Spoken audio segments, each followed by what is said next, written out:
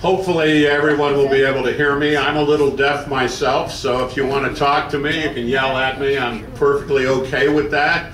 Uh, it beats that silly hearing aid thing that I stick in my ear and it gives me ear infections. So uh, I'm sure some of you probably experienced how dreadfully wonderful uh, hearing aids can be. Uh, this is the beginning of a five-part series on the Shroud of Turin.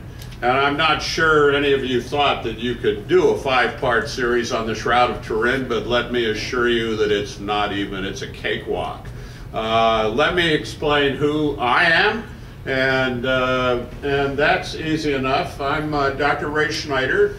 I am a retired uh, professor of mathematics and computer science from Bridgewater College, uh, but that was my retirement job. Uh, I used to joke because you get summers off when you're a professor and you get long vacations and, and that's really wonderful stuff. So I spent the last 10 years of my working life as a professor. Prior to that, I spent 10 years as an adjunct professor while I was working in my other jobs. Uh, my jobs have been kind of uh, broad ranging. My background is I have a Bachelor of Science in Physics. I have a uh, master's degree, most of a master's degree in physics, and a master's degree in engineering technology. There's a long story on why I didn't finish the physics master's degree. It had nothing to do with my grades, although I, my, my wife can be blamed for at least one C. Uh, I was dating her at the time, and it was a tough class, and I decided dating her was more fun than studying, and the result was what you might expect. I didn't do as well in the class as I should have, but that's not why I, you know, but anyway, that's a long story. Uh, I'm a research scientist. Uh, I've worked for the United States Navy. I've worked for uh, large industry, small industry, and academia. So um, I am a master of many trades. I should, should say I am experienced in many things and probably a master of none. Uh, except perhaps the Shroud of Turin. I've been studying the Shroud of Turin for a long time. About 1962, I went on a religious retreat, which I was required to go on because I was uh, going to a Jesuit college at the time, and all the Catholic students had to go on this retreat. So I went on the retreat, and during the retreat, they had a presentation that was given by a couple of uh, priests who used these marvelous glass slides.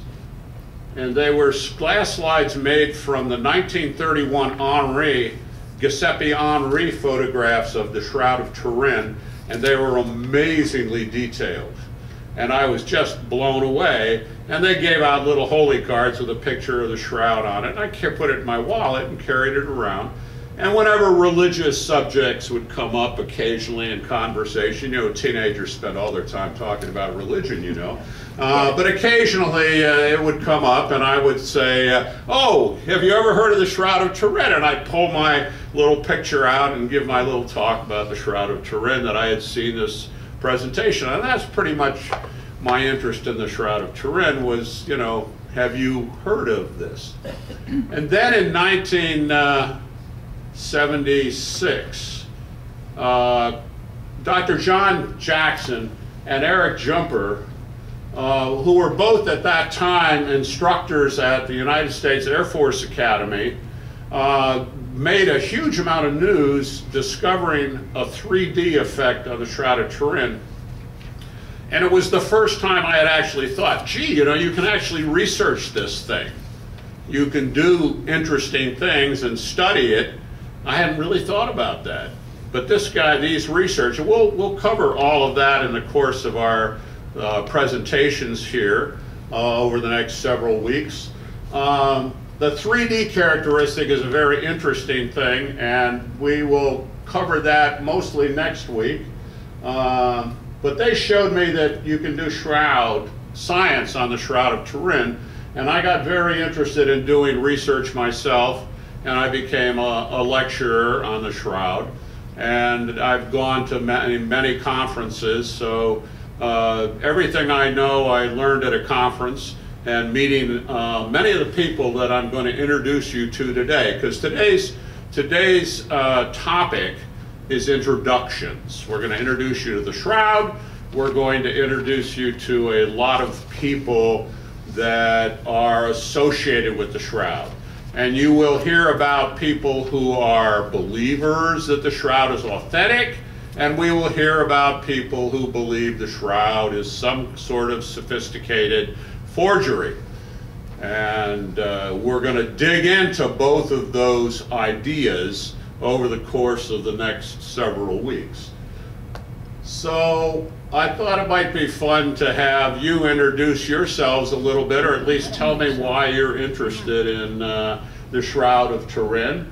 So perhaps we can go around and uh, you can just say a few words, uh, who you are, and maybe a question you might have about the Shroud of Turin that we can, so I can have these in my head, and as we come to different things, we'll touch on those. So who would like to start? My name is Becky Driver, and I just looked through the catalog and decided this was an interesting sounding class. Uh-huh. Uh, I have no background and know, know nothing, very little about it. So you just want to learn I about the just want to Shroud? learn about it, yeah. Okay, well, you will learn, you'll be an expert before you get out of this experience. uh, Brenda Rice, and basically I'm in the same boat. I have the little bit I've read about it. Sort about of it. heard a little bit yeah, about it. I'm not sure which side I'm on. Excuse me if I'm walking around, it's because I can't hear further than about 10 feet, so. I'm Mary Wallace and my husband Mark Roy, and I think we're like everybody here. We just want to see. Okay. How many here are here primarily just that they haven't, don't know very much about the shroud and are here kind of to learn about the shroud? Okay, so that's pretty much a summary of the of the majority of the people here. So that that tells me kind of where who's what do you got there? Verdict on the Shroud of Turin by who is who's the let me That's see. uh, Kenneth Stevenson. It's- It says it's based on. This is Ken Stevenson and Gary Habermas. based on. One, at least one of those was a member of the STURP team. Yeah, that's probably a, a believer-oriented book, yes. Well, book, yes. I, I will, as we touch on books, I'm gonna probably summarize the books for you. I have almost every book that's ever been printed about the Shroud of Turin in English. Uh, this drives my wife nuts because I also have all the works of C.S. Lewis and all the works of G.K. Chesterton and all the works of my favorite science fiction authors. And my house is slowly sinking into the into the uh, the mud of Woodstock from the weight of the books, which have been banished by my wife to the basement because she says that's where they belong in the basement. Well, I've got the basement full of books now. So, what is the core question about the Shroud of Turin? I think, and you'll excuse me if I sit most of the time because my left foot in particular uh, doesn't work very well and it gets to hurting if I stand too long. Um, it's either the burial cloth of Jesus Christ or it's some kind of amazing icon made by some master forger. That's pretty much the options you have. You don't really have much. And the, uh, you might have a position, but most of you sound like you're here to learn more about the shroud, so you don't have a position at this point. Uh, and a lot of people, yes ma'am, How about the third possibility that it's, I can't hear you. how about the third possibility that it's the shroud of someone who was crucified about the same time? Um, Well, the odds of anybody, we'll see when we look at the shroud, we'll see the collection of indications and marks on the shroud, and you can answer that question yourself on what the probability is that someone around the same time could have been crucified in that way. Okay, we'll touch on that. In fact, we'll touch on that today because today we're going to be looking at the shroud uh, itself and the markings. So let's uh, let's get on with it then. The shroud is an enduring mystery. That's the theme of my my whole set of presentations. Why do I say it's an enduring mystery? Well, the main reason I say it's an enduring mystery is that everybody continues to be mystified.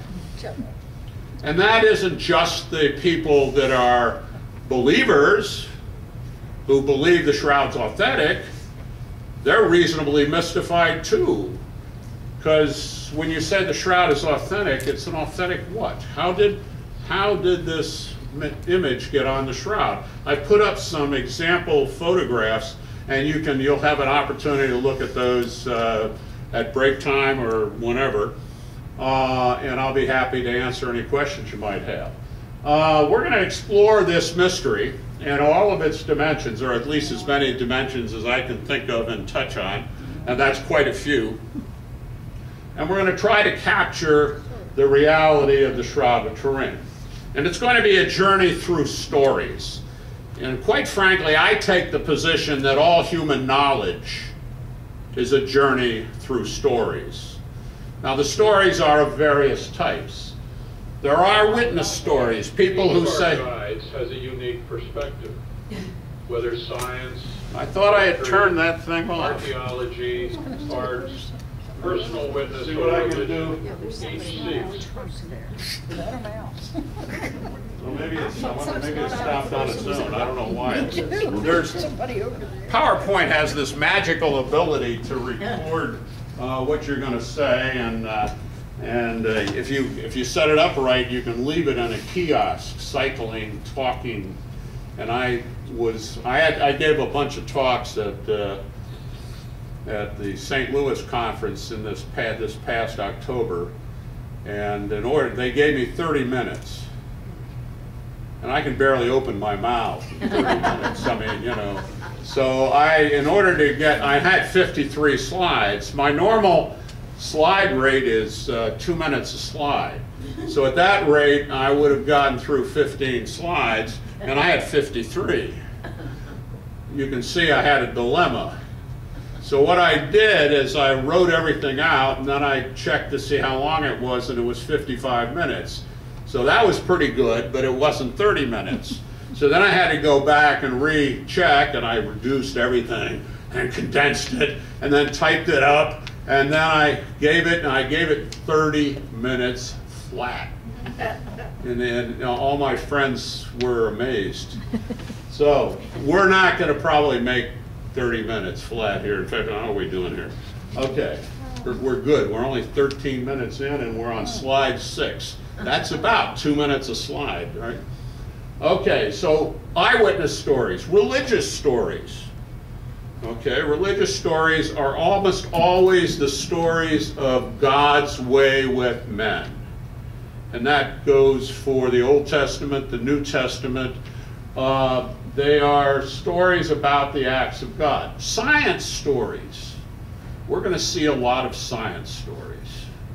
Science is a story that has mathematics and analysis associated with it and a lot of observation.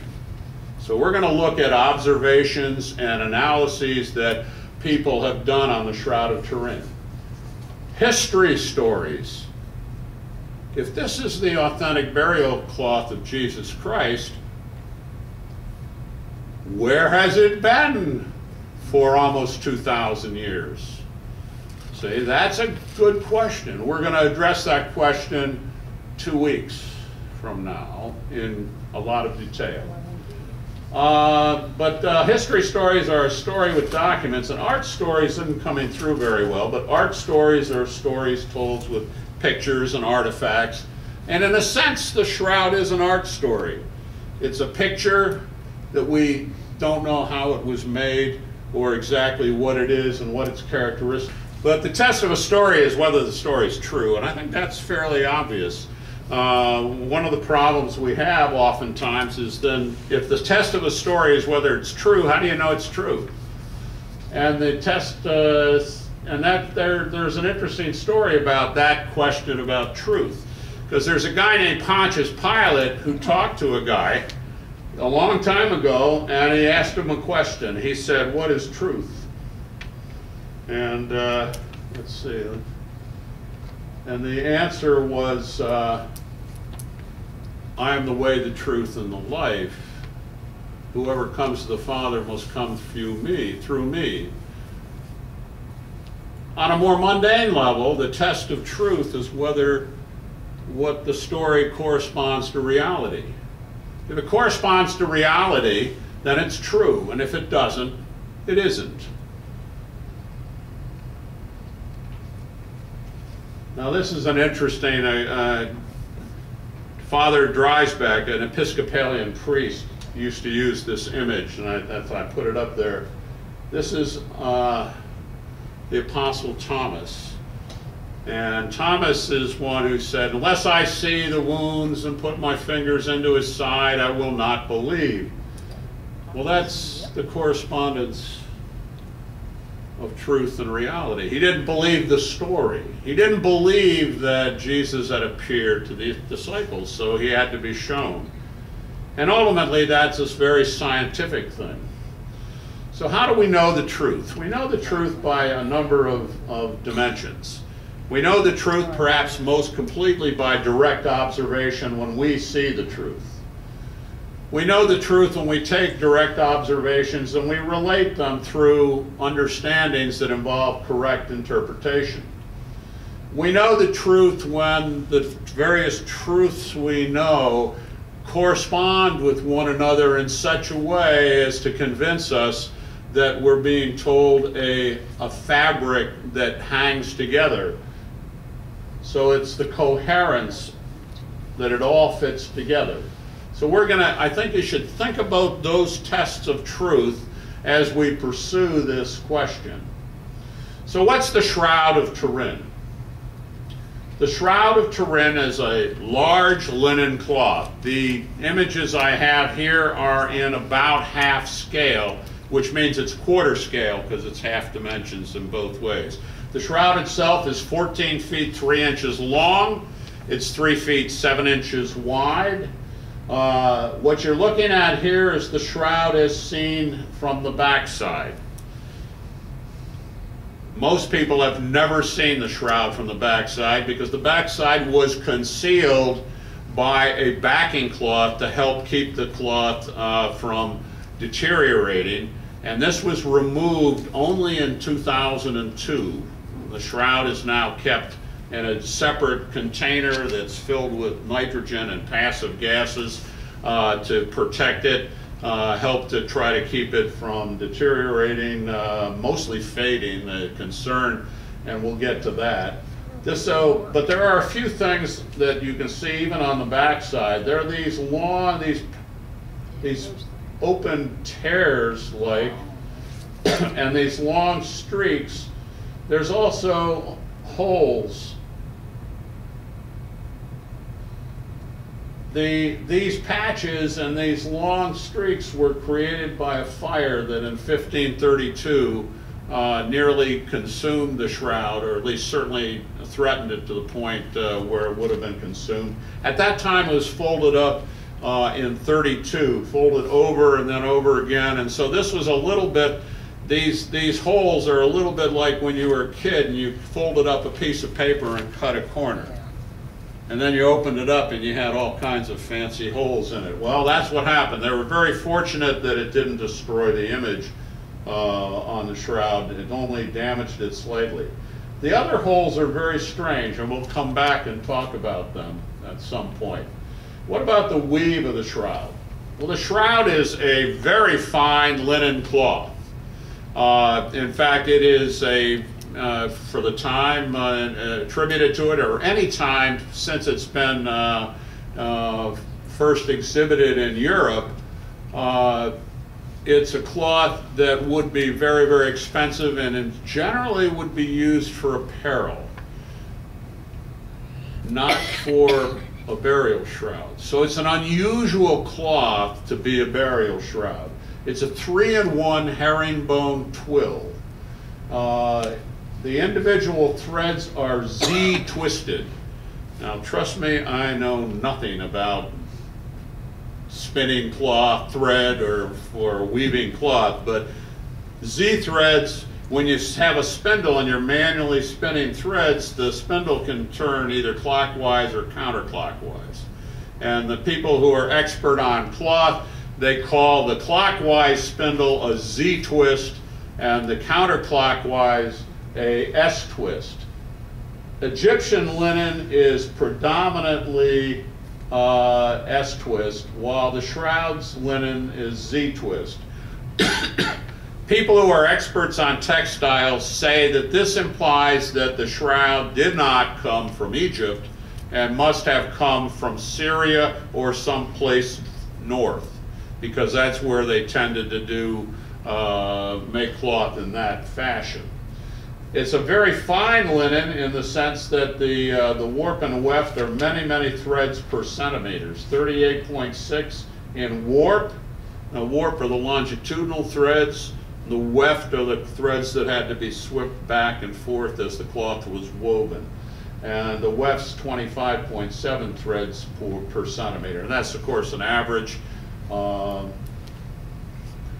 so the weave is very fine. A gentleman named Raes uh, was given permission in 1973 to take a sample of the, shroud, of the shroud at a, a corner that's far removed from the image and he took a little sample, it was only about this long and this wide, and he worked threads out of it, and that, that sample is actually featured in a lot of the, the uh, science that's been done on the shroud because, as you might imagine, people don't, don't allow you to take shroud samples with any great alacrity.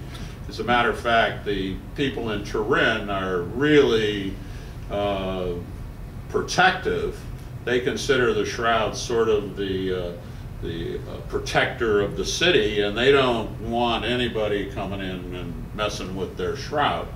Uh, that makes it all the more amazing that uh, in 1978, a team of about 40 American scientists were given an opportunity to study the shroud. And we'll talk about that in some detail next week. But here's the, uh, some of the statistics on the shroud. Now there are many, many markings. I mentioned two, the burns, the burn holes. Now these burn holes occur in four locations, uh, increasingly smaller. There are scorches that are related to the burns. There are also water stains, which are very hard to see in this low con. This is uh, actual photograph with no image enhancement. What most of you probably don't realize is that every picture you've ever seen of the shroud is image enhanced. Why is that? Because the image is so faint. The image is so faint that if you are present at the shroud, and you get inside of three feet, you can't see the image anymore. The image, your ability to see the image depends on being far enough back that all of your vision, your peripheral vision, can integrate the what you're seeing, what's coming into your eyes, and then you can kind of see this very faint image, which has been described by the early people that saw it as kind of an amorphous, watery, almost a sweat image. And that was an explanation that people gave it sometime in the past, that this was an image that Christ made by putting, this is before they, they understood it was a burial shroud, uh, and that's a story in itself, which we'll talk about and his, when we touch on the history. The patches, and of course we mentioned the complex weave. So here's what the shroud looks on the other side. You can see why I say the image is faint. And to try to give you a little bit of a uh, help, I, I equalized the image, which gave this thing. And you can see that on the shroud, there is the full length image of the front of a man and the back of a man. And we're going to look at this in a lot more detail uh, in the next few minutes. I mentioned that the visibility of the shroud image um, only the only it only becomes visible when you step back from it. Uh, when you're close to the shroud, you can no longer discern the image. This is a picture, I think, from 1998 of John Paul II visiting the Shroud of Turin. What about these poker holes? These are, this is uh, those holes that I mentioned. They're, they tend to be called the Pray poker holes. And uh, Pray is the name of a guy who was an archaeologist who studied manuscripts, and he found a manuscript called the Pray manuscript. This manuscript had an image on it which uh, appeared to include the holes from the Shroud of Turin. Whatever these holes, whatever caused these holes, these holes have been on the shroud far longer than the 1532 burn holes. So these are more ancient holes that are on the shroud. No one knows what the event was that caused these holes. They're called poker holes because some idiot, uh, and I say that advisedly, uh, claimed that, well, what these holes were due to is some sort of a test of authenticity where somebody took a, a hot poker and shoved it into the shroud to see if it was really authentic or something like that. A test, kind of like uh, when you take a witch and you put the witch in a, in a, in a, in water, and if she sinks, she's, she's not a witch, and if she floats, she is, or something. You ever read that stupid the things people did in the past are just mind-bogglingly stupid sometimes.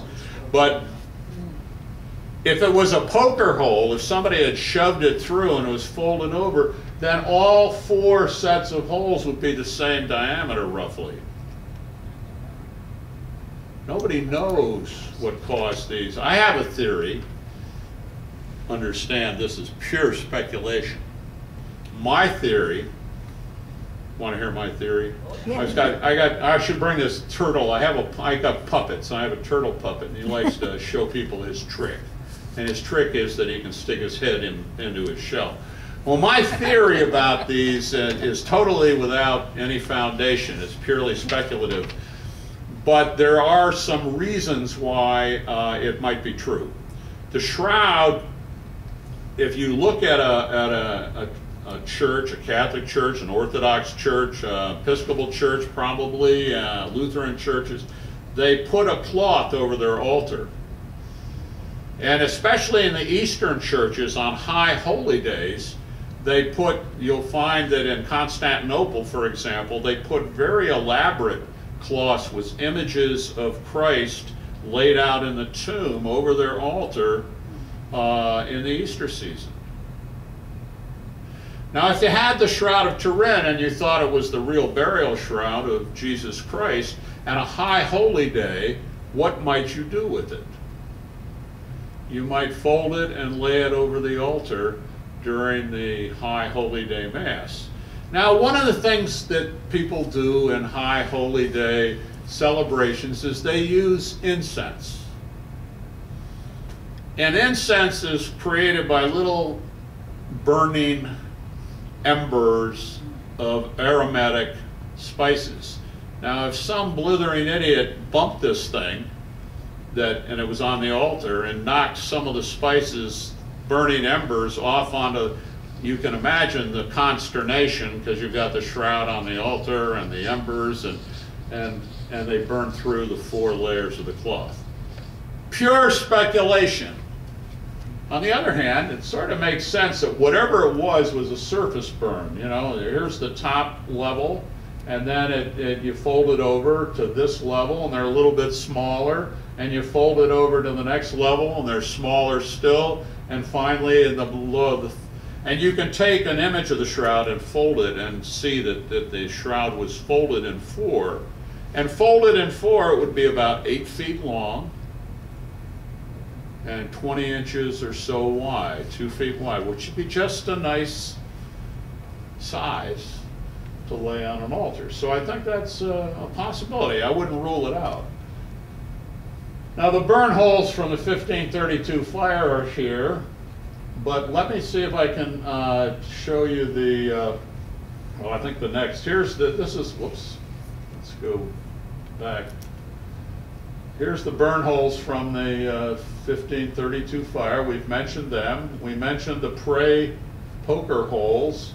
These uh, gentlemen uh, did a, a, very detailed study and concluded that the shroud, when the, at the time the burn holes were created, was folded in this kind of a configuration, and the reliquary was exposed to a fire for a long time. It was a silver reliquary uh, in a, enclosing a wooden box, and he thinks that uh, something happened and the hinge fell, fell through and fell onto the shroud in this fashion, uh, as you can see right here, and made that, and made those holes when it was unfolded. That was 1532. Two years later, uh, some nuns uh, were, the, actually the Poor Clares uh, were called in and, uh, and they lovingly patched the shroud. Now there's also water stains, and this, this image kind of tr- tries to highlight these water stains. Uh, there's a whole bunch of them. And for a long time, people said that the reason these water stains were here is they had to put water to put the fire out in 1532. And then, and everybody accepted that. Seemed like a reasonable thing, right? They threw water on it to, to, to end the fire. In fact, it's interesting if you get uh, some of the books on the shroud, they have quite a, there's quite a little bit of, of history about the heroics of getting the shroud out of the burning church. Because it's in a reliquary that's starting to melt, silver reliquary, which means it's around 800 degrees. This is before people had walked around with asbestos gloves or anything, and these guys pulled this thing. It was locked behind like five locks. So somebody, and they couldn't find the keys, and they had to get it out. So people are in there in the middle of the fire banging the locks off the thing to get it out. It must have been horrendous. And so it was perfectly reasonable to think, well, they threw water on it, and that's where the water until somebody came along and said, okay, yeah, that's fine, except that if the water was then the fold, we know how it was folded because of the burns. So when we fold it that way, the water holes, the edges of the water stain should line up, shouldn't they? Right. They don't. Now, the interesting thing to me, one of the interesting things to me, not only is that, that obviously the water stains came from a different event, but the other interesting thing is how easy people are, how easily they're deluded into thinking that, well, that sounds reasonable. Isn't that, that's the coherence dimension of telling the truth. That's a coherent explanation. Just like my embers falling on the thing. That's a coherent explanation. I have no idea whether that's how it actually happened. But something made those holes. Well, it turns out that a guy did a lot of work and concluded that the shroud was probably stored in this kind of a vessel for a period of, for a long period of time and that it leaked water and he's a, and he could actually recreate the way the shroud was folded completely different from the way it's folded uh, at the time of the fire and he built an analog shroud. That is, he made he made a linen cloth. Uh, he got a linen cloth that was the same size as the shroud. He folded it this way. He stuck it in a uh, in a jar this way, and he duplicated the the, the water stains. Now that's science. I really, I mean, I have tremendous respect for this guy because everybody, you know, he, he he spent a couple of years doing this, and uh, and now it's everybody now knows that no, the water stains didn't come from putting out the 1532 fire. They came from some other event. Now, I want to point you to some resources. Two extraordinarily important resources are one, www.shroud.com. Now, that's Barry Schwortz's, that's Barry Schwortz's uh, shroud site. It's probably the most important shroud site in the world. And the reason for that is because he has everything. He tries to be very unbiased. He puts, he puts up articles by all the scientists and people that have worked on the shroud.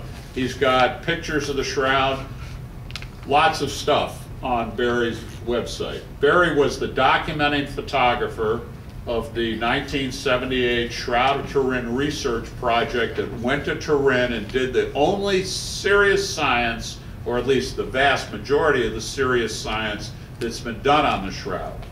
Now, Barry's cool, but another shroud site you must visit, just if you're interested in the shroud, is sindonology.org. Now, the thing that's cool about sindonology.org is you can explore the shroud in vast detail on your own at sindonology.org. They have two of the finest images of the shroud ever taken. The 1931 Enrie image and 2002 Durante image. Enrie was a photographer, Durante's a photographer. But the interesting thing about sindonology.org is that you can pan the image, you can expand the image down almost to the thread level. So you can, if you're interested in some particular marking on the shroud, you can expand it and you can look it over very carefully. You can clip pictures. So if you're doing research, you can actually capture images that are about as good as any image you can find. It's very nice. Now there's another site, I think I put it on your handout, which I think is called shroudstory.com.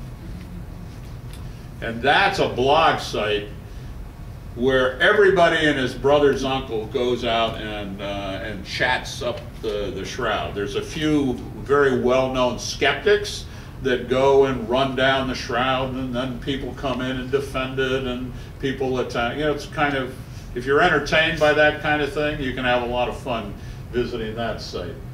Okay, so to, now we're going to continue. Uh, Mario Latendresse is the guy who did uh.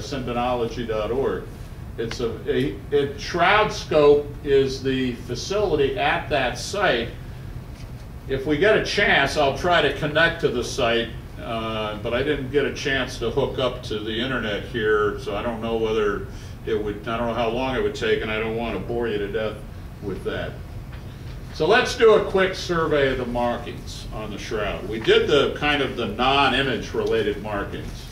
Uh, but basically, when you look at the shroud, there's only a few kinds of things you find on the shroud. You find areas of clean, clean linen, basically places that are mostly free of any dirt and marks. You find the burn and scorch marks, which we've mentioned. You find the water stains. You find blood stains. You find something I call the banding phenomena. The banding phenomena is the fact that the shroud has, in some cases, bands both horizontal and longitudinal that appear to be due to things like the processing of the yarn lots that were went into weaving the shroud. Now that's a fascinating thing because that suggests that the shroud was made before it was a common practice to bleach an entire cloth after it was woven. In the earliest days, cloth, they didn't have facilities for bleaching things. In fact, even, even as late as, uh, I'm not sure what century, but bleach is a fairly new thing.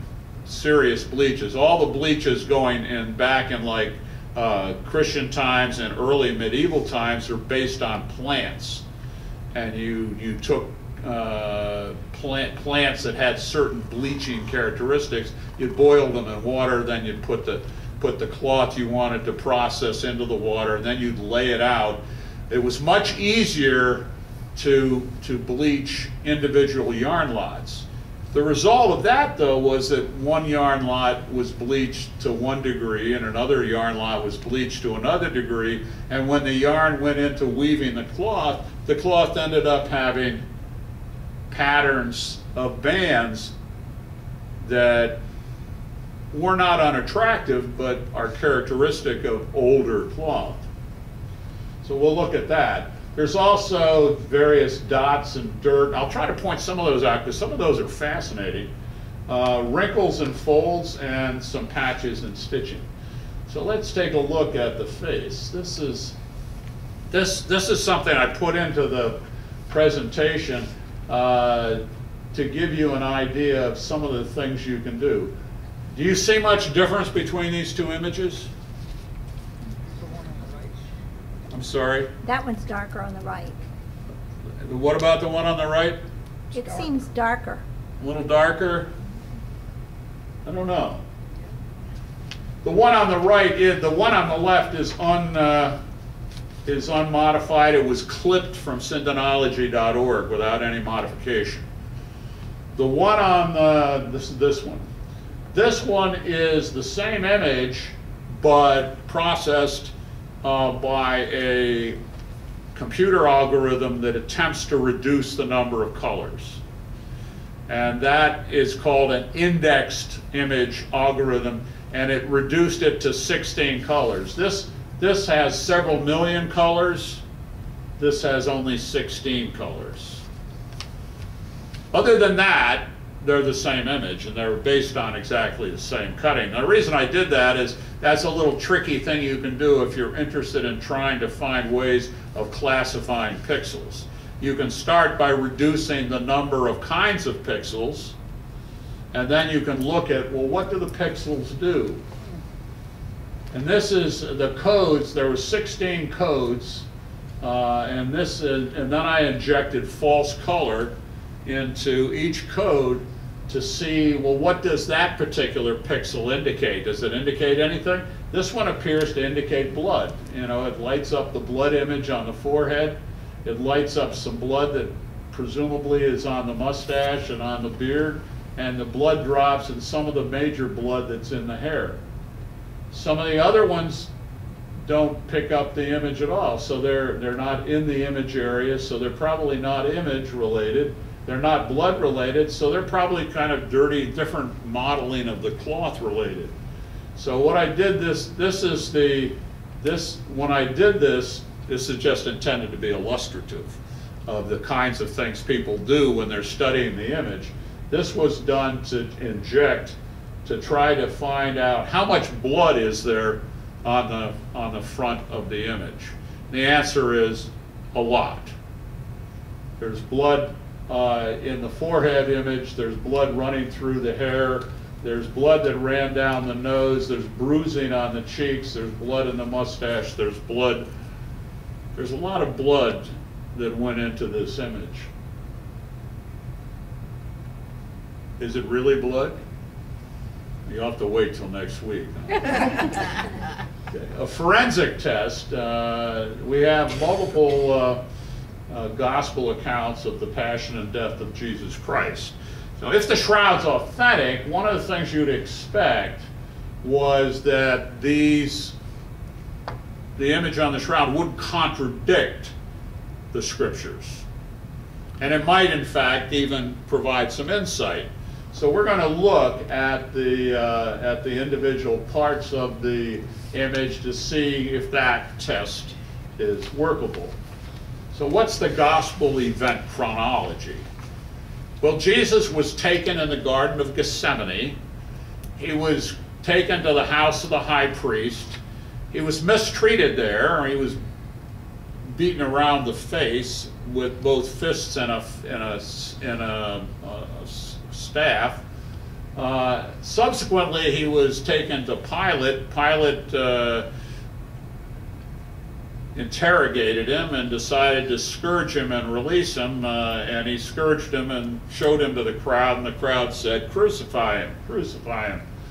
Uh, he was also crowned with thorns, something that was not a very common, you know, you didn't crown anybody with thorns unless you had a reason. What was the reason? Well, the reason was written on the titulus, which was put on the cross. Jesus of Nazareth, King of the Jews. They say you're a king. What do you say of yourself? Thou sayest it. I am a king. That's why I came into the world.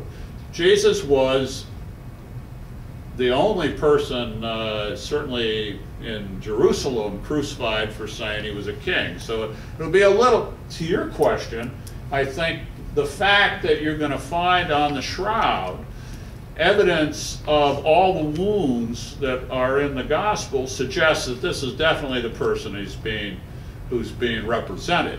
Now, is he being represented by a forger of some kind, or is this an authentic? Uh, that's a different question. But I don't think there's much doubt about who we're talking about. Uh, he also carried his cross, and there's likely, we aren't really told that he fell, but in tradition, there's the, and we know that Simon of Cyrene was pressed into service to carry the cross. Why? Well, obviously, they were afraid Christ wasn't going to get to Golgotha in time, you know, alive if they didn't do something. So the tradition is that he fell three times, and who knows how many times he actually fell. But there's actually evidence on the shroud of eh, wounds associated with falling. And that's interesting. He was nailed to the cross, he died, and he was pierced rather than having his legs broken uh, because he was already dead. So, what about beaten? Luke says the men who were guarding Jesus made fun of him and beat him. They blindfolded him and asked him, Who hit you? Guess. And they said many other insulting things to him. The face shows bruising. There's, according to uh, Robert Bucklin, who is a forensic uh, doctor who did a, uh, was interviewed on a Shroud documentary. I didn't, I thought about showing some Shroud documentaries, but I thought you guys didn't want to. You can probably get those if you're interested in them. There's one called The Silent Witness. It goes back to like many, quite a few years before the carbon date.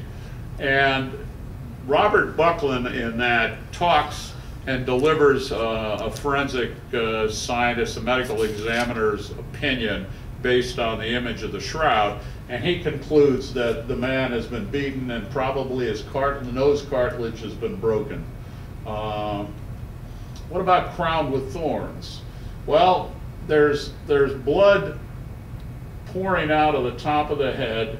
Now there's a, a vacant area here, and there may be signs that there was something over the head when he was put uh, in, uh, in the, and there is in fact a relic in Cahors, France, called the Cap of Cahors, which has blood on it, and is supposed to be. No, nobody is. I'm I'm a big fan of trotting out all these relics and checking them out.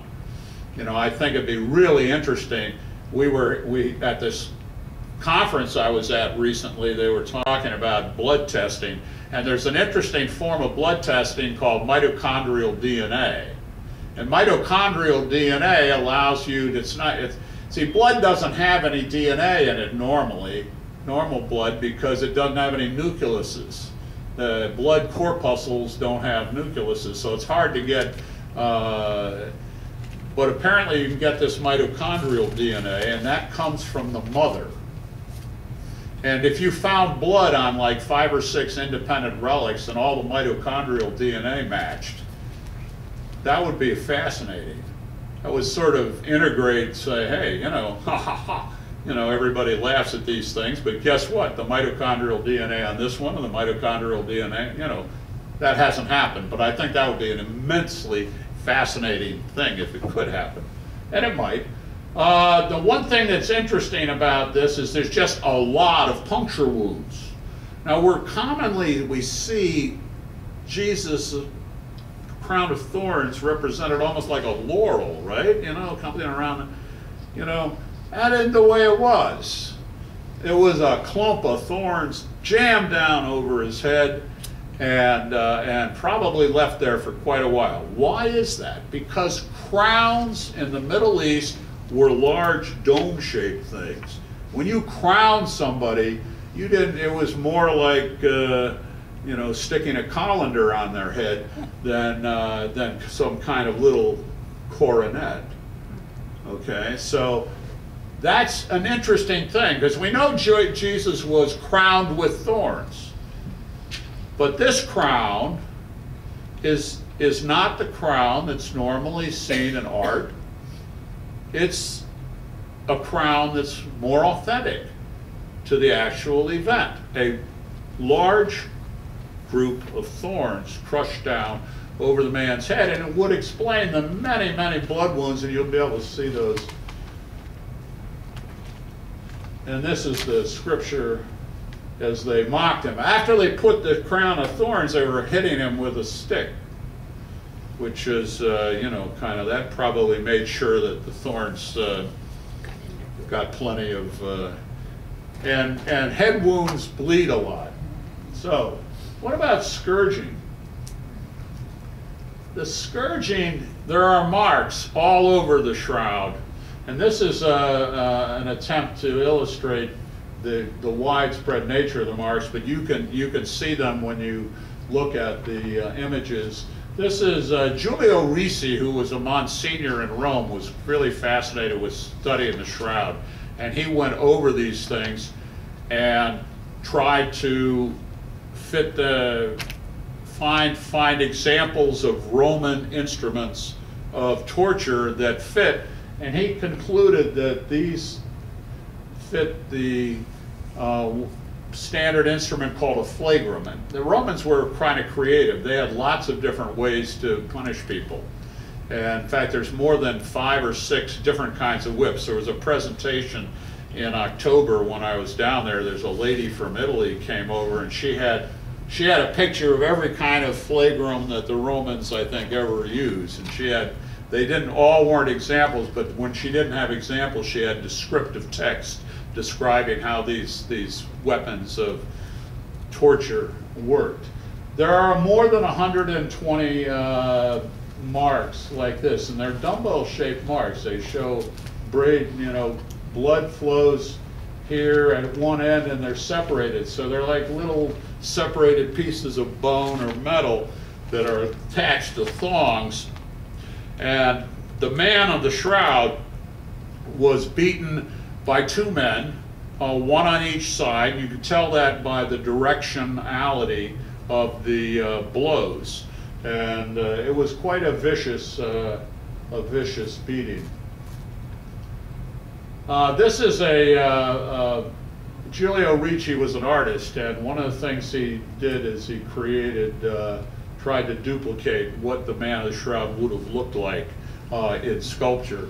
And one of the things he noticed in the sculptures, and if you look at the picture that you got when you came in and look at the back, you'll see that uh, aside from these markings that are all over the back from the flagrum, from the from scourging, there are actual places where the marks appear to be obliterated a little bit or, or rubbed around. And uh, Ricci felt that that was an indication that, of two things. One, that, that Christ was wearing a tunic of some sort. He had been stripped of his clothes when he was beaten because there's marks all over. Remember, look at the, the marks are on the front, the back, the thighs, the back of the, uh, the back of, of the, uh, all the way down the back, and then they wrapped around and there were marks, there are scourge marks on the chest, uh, and even down, you know, down all the way down to the calves. So he wasn't wearing anything when he was scourged. Then he put his cloak on, because remember they, they cast lots for his cloak at the site of the crucifixion. So he was wearing a tunic when he was carrying, uh, what Ricci thinks is he was only carrying the crossbeam, which is called the patibulum. And uh, there's a whole uh, detailed description of how that is done uh, when they had a multiple people who were going to be uh, uh, crucified. They would actually attach, they'd each be carrying their patibulum, and one end of the patibulum would be attached to their ankle, so they couldn't just throw it down and run away. And the other end was attached to the person behind them, to the patibulum on the person behind them, and then they would march and so that if, if one person fell, lots of times others would be dragged down. And now uh, that part you can't demonstrate, but the, the abrasions across the back do reflect uh, that kind of uh, that kind of event. Here's the now this because this isn't a positive and not a net. The, you can see the abrasions here and uh, and a, an abrasion here. So they, this way, but in in the negative, well, let's see, did I show it? It goes it goes the other way.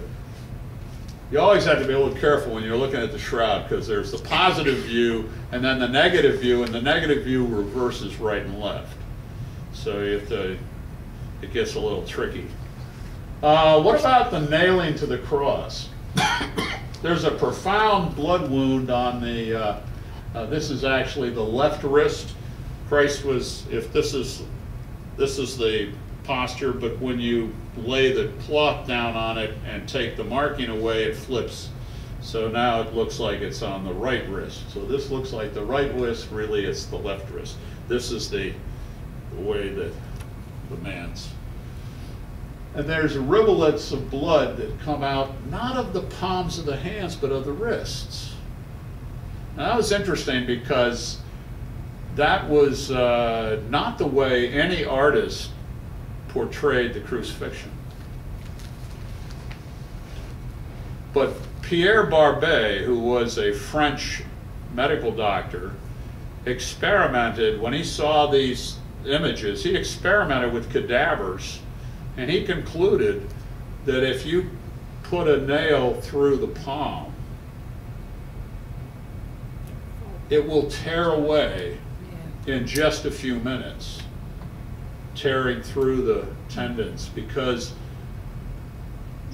80 or 90 pounds pulling on that won't support a body. So you had to you had to have some better support. There's a couple of places. Now here's an example where everybody gets into a big argument about where did the nail go to produce this. And there's three locations that they talk about. There's a place called the Space of Destot. That's where Pierre uh, Barbet thought it went. There is the place between the radius and the ulna, which is a little further back and doesn't doesn't look like it's that far back, but some doctors argue.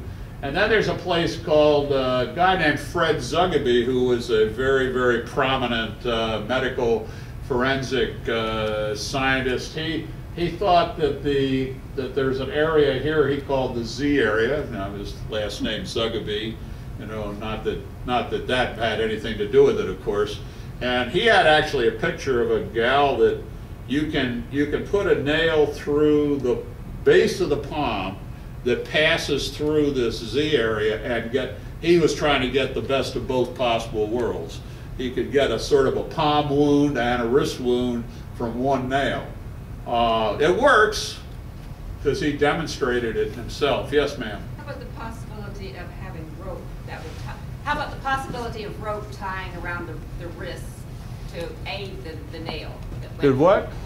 Something tying the wrist to the cross beam.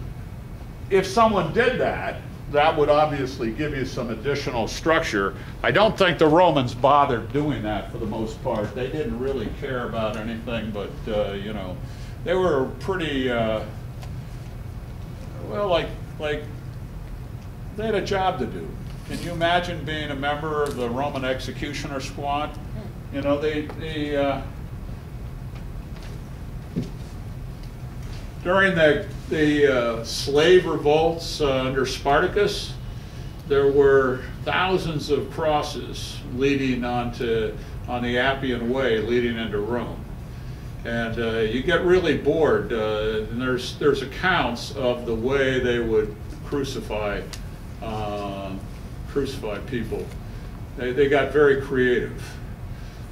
How about the fact that stigmata tends to always be in. That's a good question, uh, and but that's uh, that's a different question, really. The stigmata, you know, the stigmata, at least in part, would would reasonably be expected to be in places that people would honor people's veneration or perception of of things.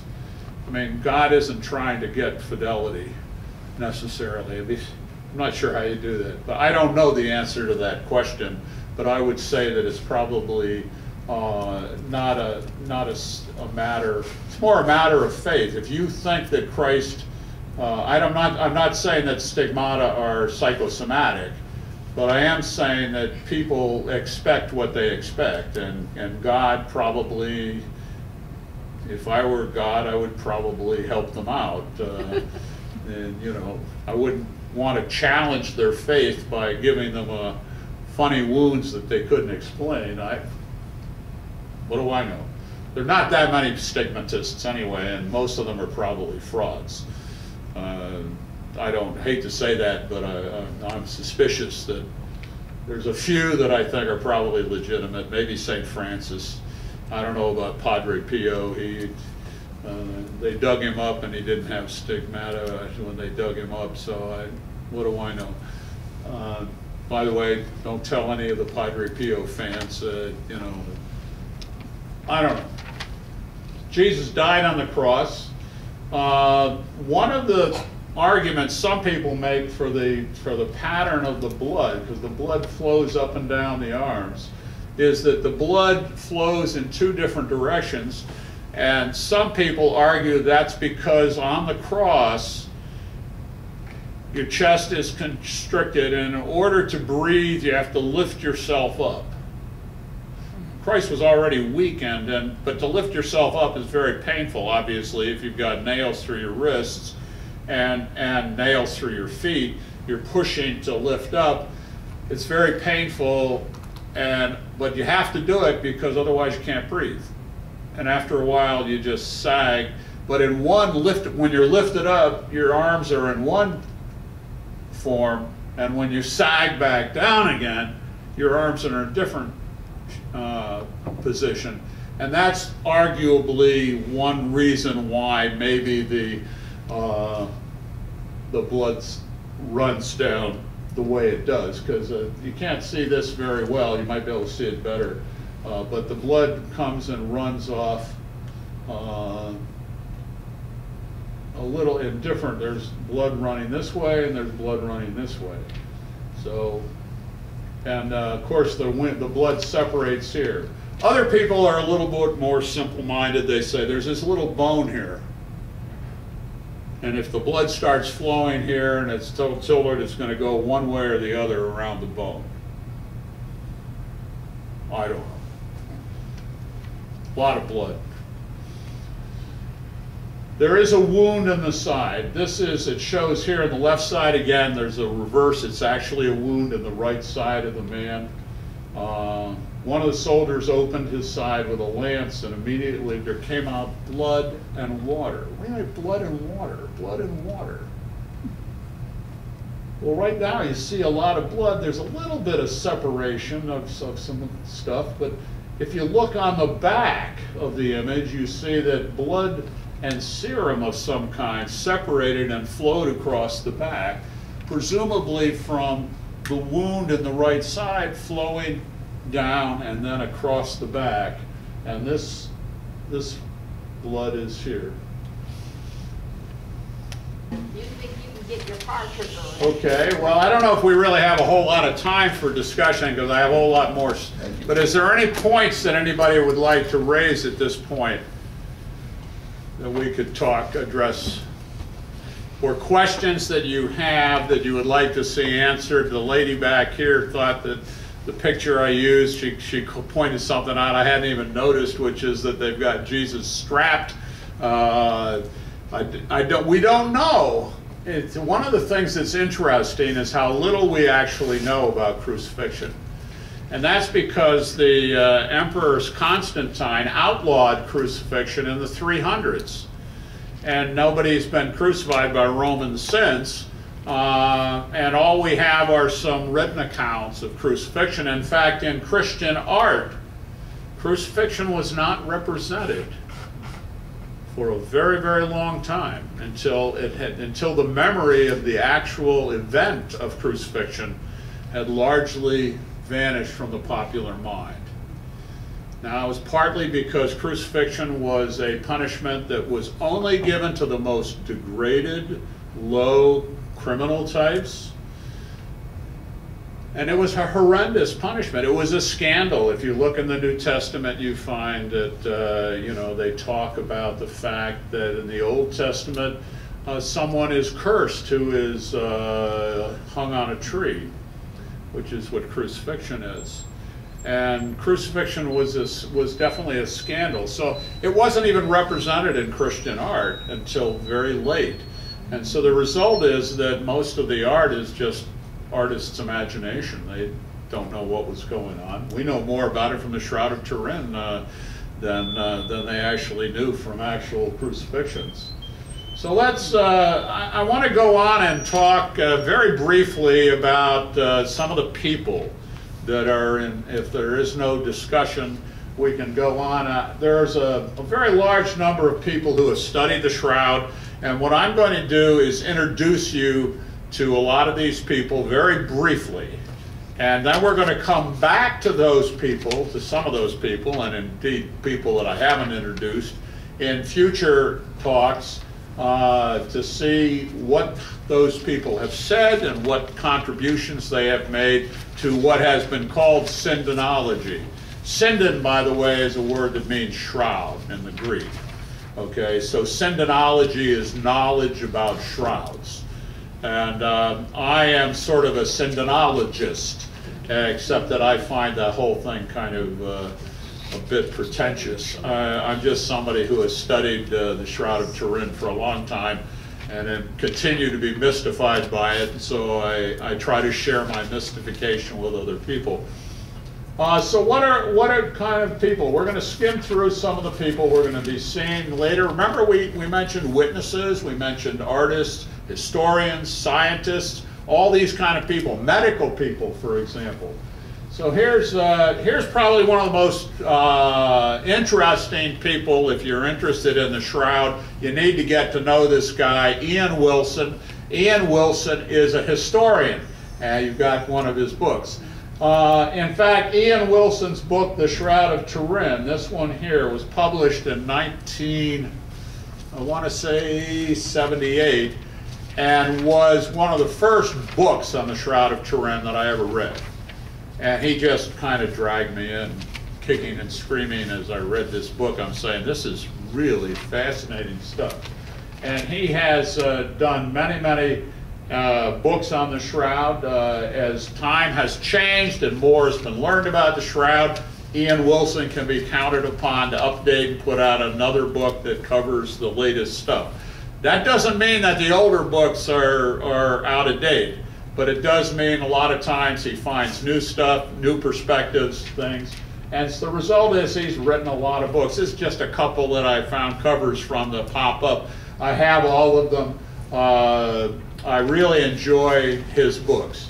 Uh, and he, I, I, really owe to Ian, a debt to Ian Wilson for some of the, uh, not only some of the knowledge, but some of the fascination that he, he motivated in me. Uh, Probably the most profoundly important individual scientist on the Shroud of Turin is John Jackson.